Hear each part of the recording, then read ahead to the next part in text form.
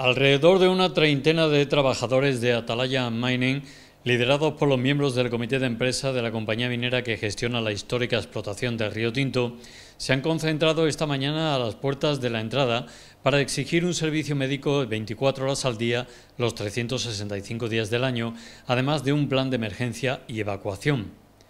El detonante de esta concentración ha sido el accidente laboral registrado en la empresa el pasado lunes. A un trabajador de AHG Transportes Gaby Duque SL, subcontrata de Irenzo, le tuvieron que amputar la pierna izquierda por debajo de la rodilla tras caérsele encima la estructura metálica en la que trabajaba. El trabajador accidentado permanece ingresado en el Hospital Comarcal de Río Tinto estable y fuera de peligro. Según los trabajadores concentrados, todo ha sido un cúmulo de despropósitos que podía haberse evitado de haber tenido la empresa un plan de emergencia y evacuación. Pues lo único que pedimos es que tengamos un servicio médico las 24 horas del día y los 365 días del año.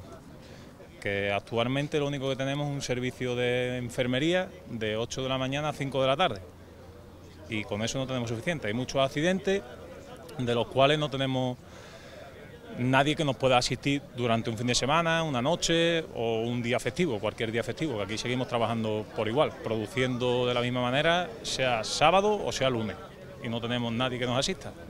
¿Cuál es la gota que ha colmado el vaso de vuestra paciencia?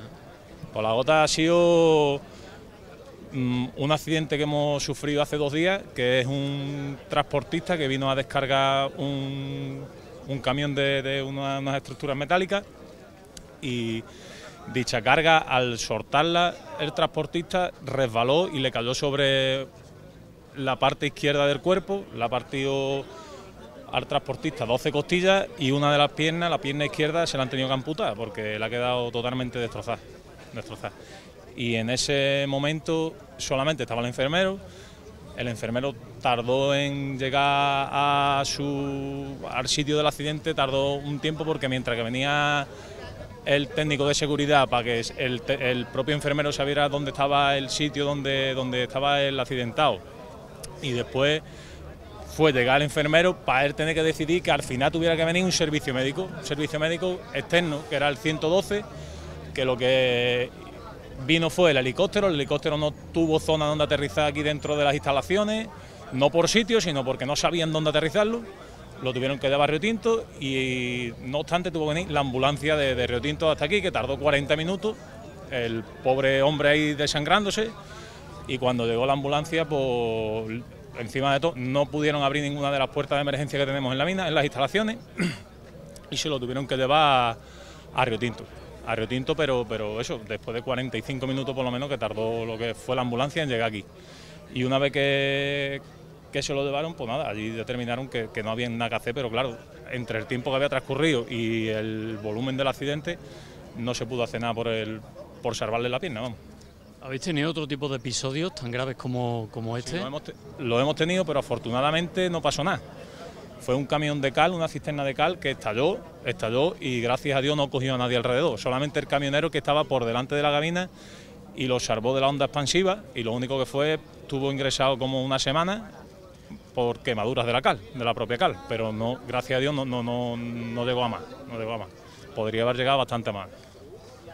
¿Existe un plan de seguridad, de, evacuación, de emergencia?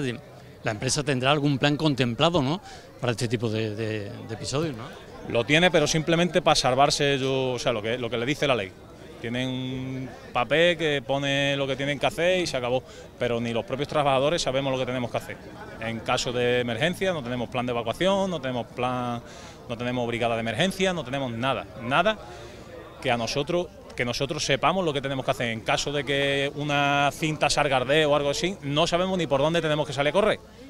Lo que nosotros podamos hacer. De hecho, el día de lo de la cal, quien evacuó la planta fuimos nosotros mismos. Evacuamos la planta porque la planta se puso entera de cal. No sabíamos si era peligroso o no lo era. No sabíamos nada. Y lo hicimos lo mejor que pudimos, la verdad. Lo mejor que pudimos. Nos metimos todos en el vestuario y allí nos quedamos todos encerrados. ¿Habéis hablado con la empresa? ¿Le habéis trasladado vuestras demandas, la necesidad de este tipo de planes? Nosotros se lo hemos trasladado, pero ellos lo que nos dicen que es que esto es un proyecto, que esto va lento, que es un proyecto y que está todo un proyecto. Pero mientras tanto estamos teniendo accidentes y vamos a ir cada vez a más, cada vez a más, a más, a más. Y lo que no queremos es llegar a que tengamos una desgracia. Queremos la solución ya, urgente, y por lo menos aunque el plan de evacuación y el plan de emergencia, entendemos que son formaciones que nos tendrán que dar y tardaremos un poquito más, por, lo menos el médico y servicios de enfermería que lo tengan las 24 horas y 365 días del año. Pero a ver, vosotros cuando entrasteis en, ingresasteis en la empresa, ¿no recibisteis ningún plan de, seguridad, de, formación en seguridad? Nada, un vídeo, un vídeo que con eso ellos ya lo ven suficiente. Un vídeo, pero no, no, nos dan ni un teléfono, no nos dan, no tenemos nada, solamente al jefe de relevo, que el jefe de relevo tampoco hay muchos casos que no sabe cómo actuar no sabe cómo actuar y no puede acudir a todo, como es lógico, ese hombre no es Superman. Tenemos que tener técnicos de seguridad en la planta que no los tenemos tampoco en fin de semana. Marco, no sé qué tiempo os dais para que esto se pueda solucionar, si a corto, medio plazo, si contempláis otro tipo de, acciones, de actuaciones, si esto no se resuelve. Nosotros vamos a seguir ahora mismo como estamos y nosotros vamos a dar poco plazo, poco plazo porque llevamos ya bastante tiempo solicitándolo, solicitando que tengamos lo que es el servicio de, sanitario, lo tengamos las 24 horas y no nos lo quieren, no nos lo quieren dar porque ellos dicen que tenemos el hospital muy cerca. Pero es que aun con el hospital cerca ya se ve lo que pasa, ya se ve lo que pasa, que es que las primeras los primeros minutos de, de intervención a una persona son vitales y eso lo tenemos que tener ya, tenemos que tener ya, no podemos esperar más porque cada día irán pasando más accidentes. Terminamos. ¿Esta concentración es puntual o habéis marcado un calendario de, concentración? Esta concentración en principio es puntual y no hemos parado planta ni hemos hecho nada, solamente es puntual de todo el comité en pleno y el que quisiera asistir, que asistiera en apoyo al comité. Pero sí que nos podemos plantear el parar incluso la planta, parar incluso la planta porque está toda la gente pues cardear, cardear porque está viendo que, que hoy ha sido un camionero, pero mañana puedo ser yo, o puede ser un, otro compañero. Lo que queremos es solución, solución. Hombre, yo después de casi cuatro años que llevo aquí, mm, me creía que esto iba a ir evolucionando poco a poco para mejorar toda la plantilla en muchos aspectos, en seguridad, económicamente, en, categorías profesionales y en muchas cosas. Y esto de momento está muy, muy parado y yo creo que ya es hora que nos den lo que merecidamente hemos hecho, que ha sido arrancar esto de nuevo, ponerlo en producción y, tener el merecido premio que ya yo creo que ya va siendo hora. A ver si la empresa abre los ojos y lo va reconociendo que ya es hora, ya es hora. Llevamos ya mucho tiempo esperándolo y yo creo que ya es hora. Y nosotros vamos, no vamos a parar de, de luchar, no vamos a parar hasta que no consigamos cosas.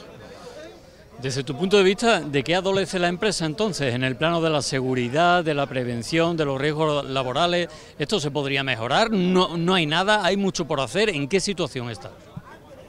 Hombre, yo creo que se puede mejorar, lo que pasa es que tienen que poner de su parte y contar más con el apoyo nuestro también, ¿no?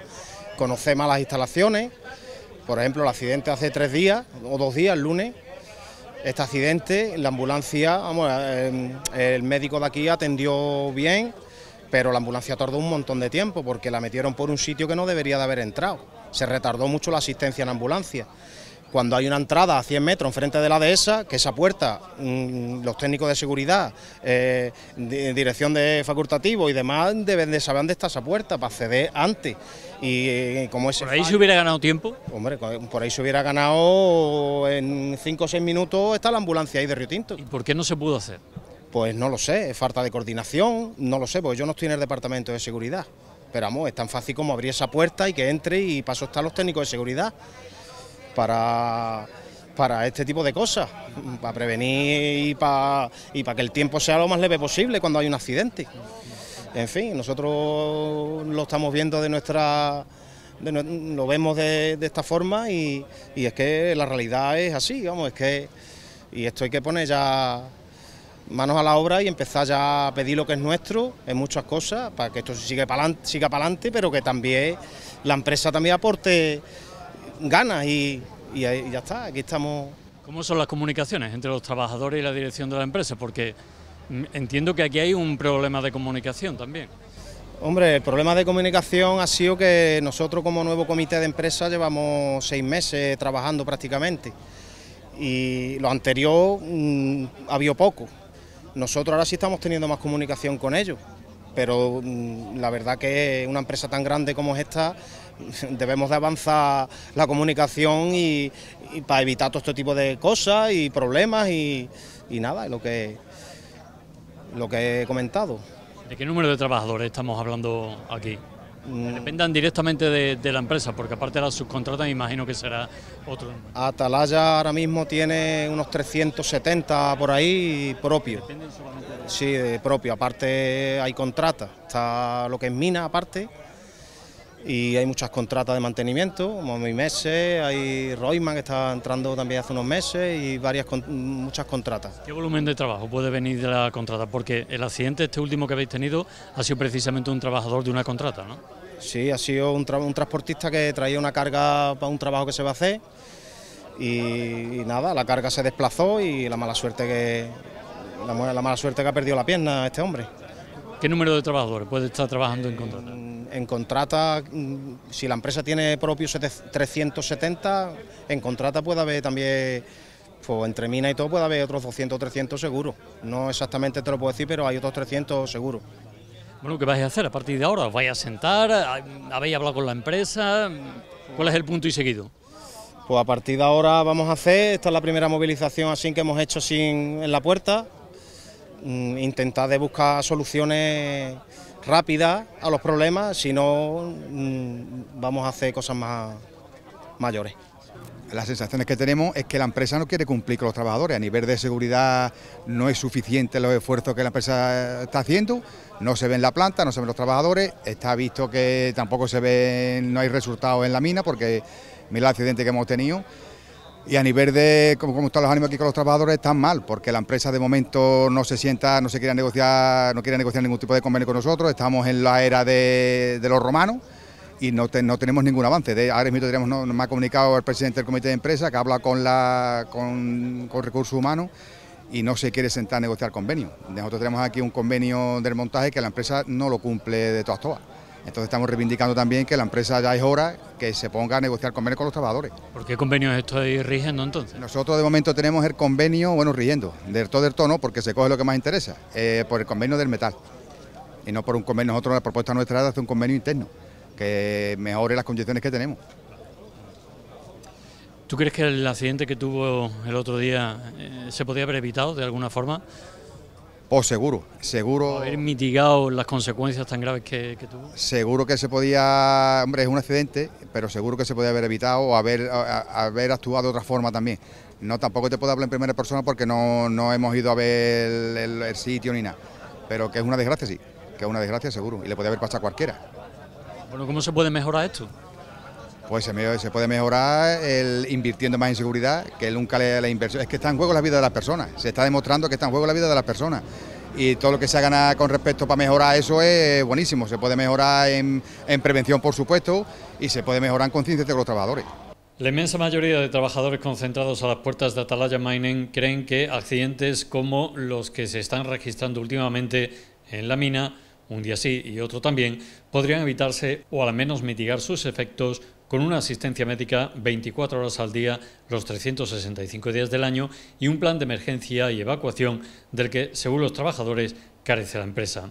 Puestos en contacto con la empresa para conocer su versión, fuentes de Gabinete de Comunicación nos remiten a una próxima información que facilitarán por los caudales habituales. Al parecer, según nos confirman fuentes de la propia empresa, técnicos de seguridad están estudiando las circunstancias en las que se produjo el último accidente para esclarecer los hechos, así como efectivos de la Policía Judicial y técnicos de la Delegación Territorial de Mina.